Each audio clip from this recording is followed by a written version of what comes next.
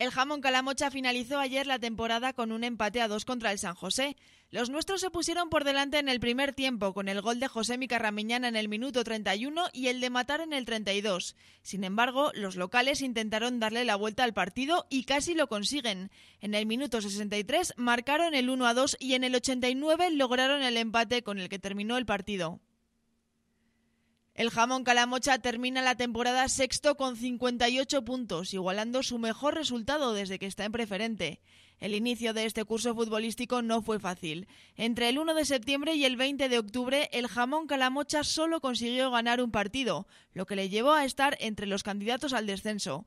Sin embargo, esa derrota ante el Utrillas en el Jumaya marcó un punto de inflexión.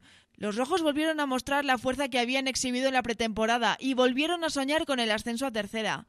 Las bajas han sido la lacra del equipo en estos últimos meses, pero los números están ahí y demuestran que esta ha sido la mejor temporada para el jamón calamocha.